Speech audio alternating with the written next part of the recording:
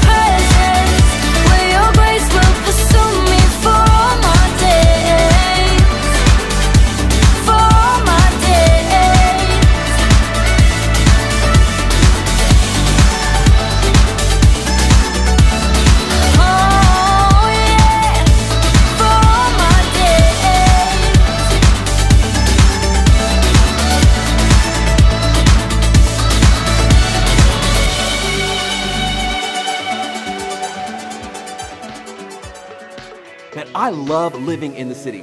There's something here for everybody, from coffee shops and shows to ice cream parlors and barbershops. I mean, there's no other place in the world where you can get a bowl of chili from a cart on the corner and then pay to get your autograph from your favorite movie character just three blocks up. You can even ride an elevator to the 104th floor of a skyscraper and see three different states. I mean, everybody in the city has somewhere to go, and there's no shortage of transportation. But what's crazy is that most people here don't even own cars. They walk, ride a subway, take a taxi, or even the bus. I mean, that's what I do. But the bus I ride is no ordinary bus. no way. The bus is full of fun. And here it comes now.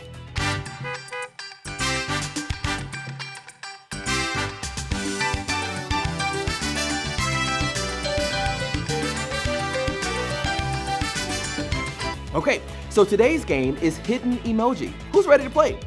Okay, on the screen, you'll see a picture of something that you might see here in the city. Somewhere in that picture, an emoji is hiding. When you think you see it, shout it out. Tell me what emoji you think you found. Let's take a look at the first picture. Okay, who thinks they found it? I can tell you that it is either a shoe or a shirt. Okay, everyone look at the picture and shout it out if you think the hidden emoji that we're trying to find is a shirt. Okay, now shout it if you think it's a shoe. Let's see who got it right. Drumroll, please. If you guessed a shoe, you got it right. Good job. But don't worry if you didn't get that one. We have another one coming right up. Okay, let's take a look at this next picture. Who wants to guess what emoji is hidden here? Okay, okay. I can tell you it's either a newspaper or a cup of coffee, which we love coffee in the city. Let's see what the answer is. Ah, it wasn't coffee, it was the newspaper. Good job spotting that one. Okay, last round. Let's take a look at this picture. Who wants to guess? I mean, I can tell you that it is either a police car or a skateboard. Everyone look really closely and shout it out if you think you know. Okay, okay. Let's take a look at the answer. It was skateboard. Good job, everyone. Some of those emojis were really hiding in the city. You know, city life really is the best. And not just because there are millions of things to do and see. What really makes this place special are all of the different people who live here. There are people who like to eat steak and others who like to eat sushi.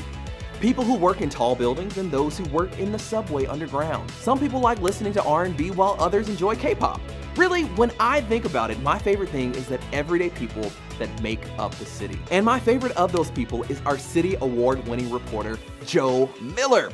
She goes into the streets to find some really great people who bring the city to life. Oh, and it looks like her show is starting right now. Let's tune in.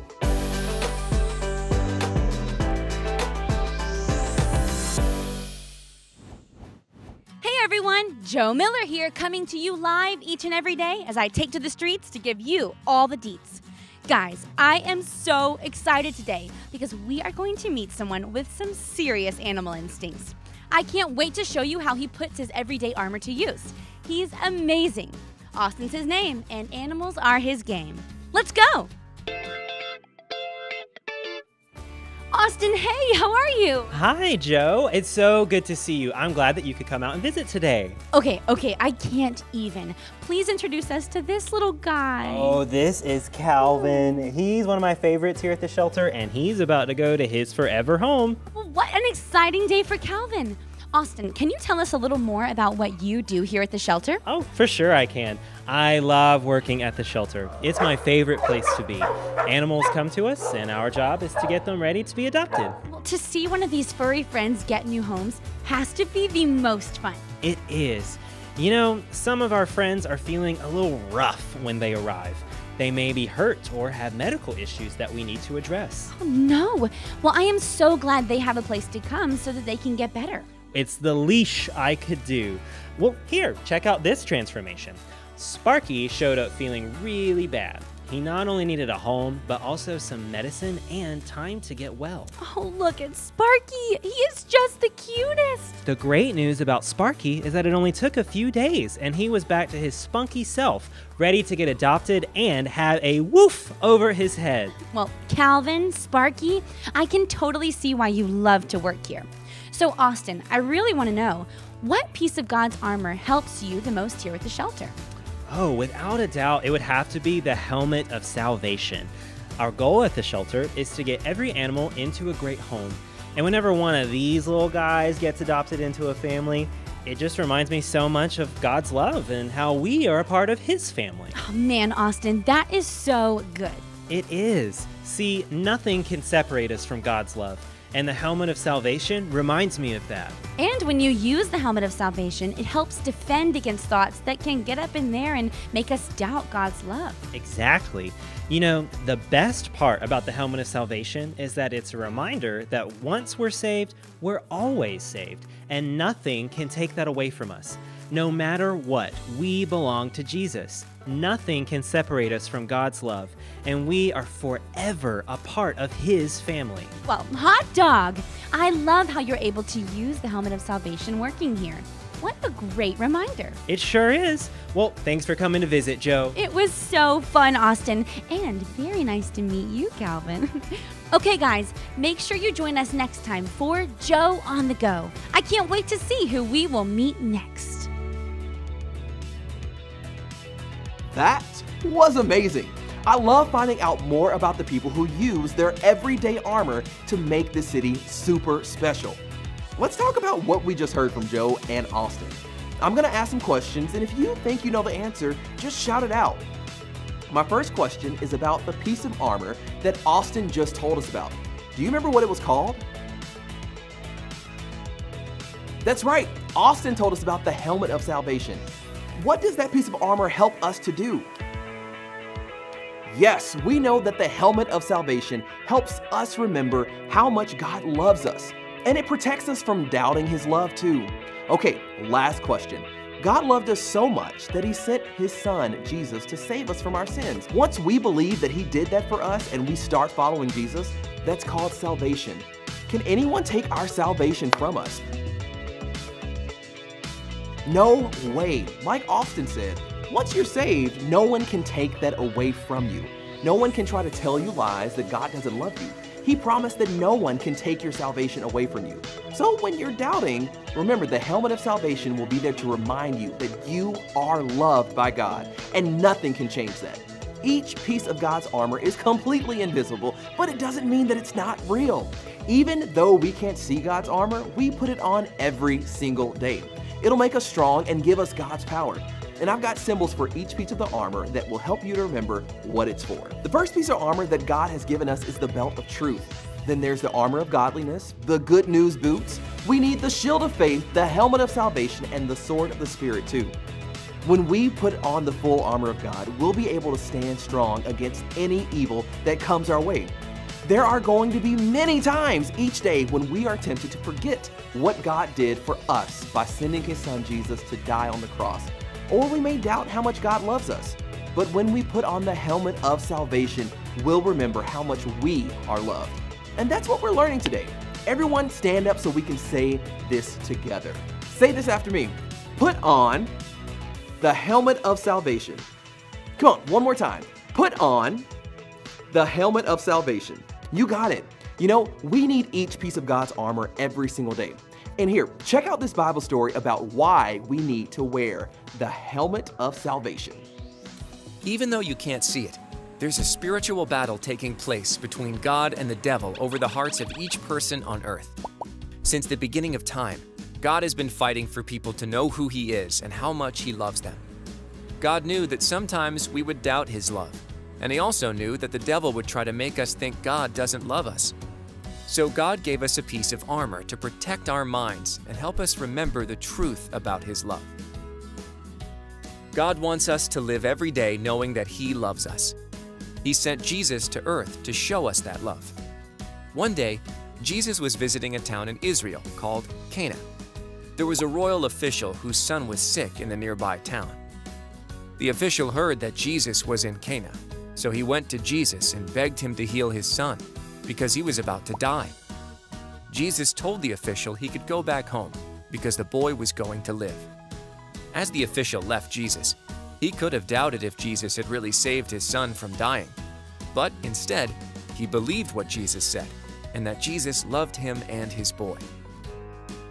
As the official was on his way home, some of his servants ran to meet him on the road with some very good news. His son was alive and doing well. The official found out that it all happened at the exact minute Jesus said his son would live. Just like the official believed that Jesus could save his son from death, we can believe that Jesus can save us too. We are saved when we believe that Jesus died on the cross, took the punishment for our sins, and came back to life. Jesus' love saves us from receiving the punishment we deserve for the wrong things we do, and it gives us the promise of heaven with Him one day. This promise of salvation is forever and can never be taken away. There's nothing in all of creation, nothing too great and nothing too evil, that can change how much God loves us. The helmet of salvation will help us remember this every day. We can put on the helmet of salvation. That story helps us understand that whenever we're having doubts about God's love for us, or we think that He couldn't do a miracle in our lives, we can put on the helmet of salvation. Believing that nothing can change God's love for us will help us to take a stand against anything that comes our way. Now, you might be wondering what it looks like for us to put on the armor of God in real life. Well, I have an example of someone who has. Here, take a look at this picture of Michael and his family. Michael is a kid, just like you. In this picture, you can see that he and his family are at the vet's office with their family dog. Michael is so nervous about what might happen to their dog because the vet is saying that it doesn't look good. Michael doesn't want his dog to die, so he asks Jesus to make him better. If his dog doesn't get better, Michael might be tempted to wonder if God really hears him or loves him at all. But Michael has been wearing the helmet of salvation. He can fight off those thoughts because he knows that no matter what happens, God still loves him. That's what it looks like to put on the helmet of salvation. When we put on his full armor, the enemy doesn't stand a chance. The helmet of salvation, which protects our minds, and if the devil catches us with an unprotected mind, he will be willing to fill it with sinful things. When we put on the helmet of salvation, we protect our minds from the enemy's attacks, and it will help us to remember how much God always loves us. All throughout the Bible, we see people using prayer and worship as a weapon to defend themselves against the enemy. That's because when we pray and worship God, we're declaring that God is more powerful than anything or anyone else who would try to harm us. And we're going to do that right now. Dear God, thank you for giving us your full armor. Help us to remember to put on each and every piece so that we can stand firm against the devil's lies and tricks. We know that you are greater than anything we face. We love you, and in Jesus' name we pray, amen. Remember, we've got God's power with us, and we're ready to face anything the evil one would ever throw our way. Boys and girls, what was your favorite part about today's lesson? I know for me, personally, seeing and hearing Max's story about how he remembered that even in his dark situation, that God still loves him. Remember, boys and girls, God's plans for us are good. And speaking of plans, I have a plan that includes a wrench, a football, and a trip to McDonald's. Okay, all right, I'll see you guys later.